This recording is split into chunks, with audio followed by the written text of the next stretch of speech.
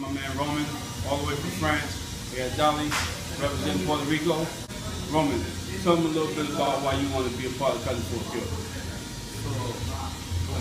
Je vais assister à Coupe au cœur car c'est un événement très important. Ça se passera le 11 juillet au Denis Denis Moss Barbershop in Harlem.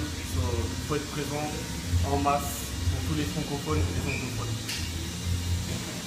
Okay, uh, I thought he was going to be saying it in English, but we're going to get a translator because um, he's going to be here, going to do his thing.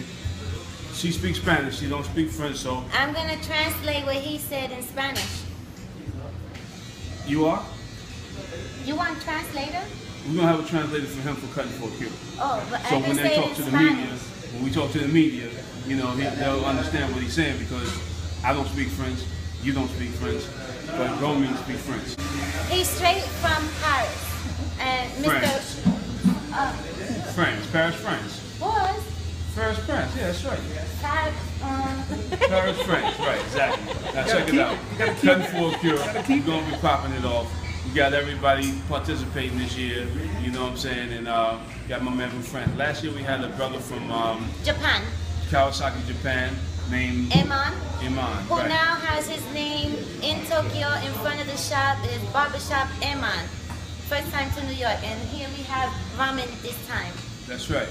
Representing. Cutting for cure, one body. One body. One back.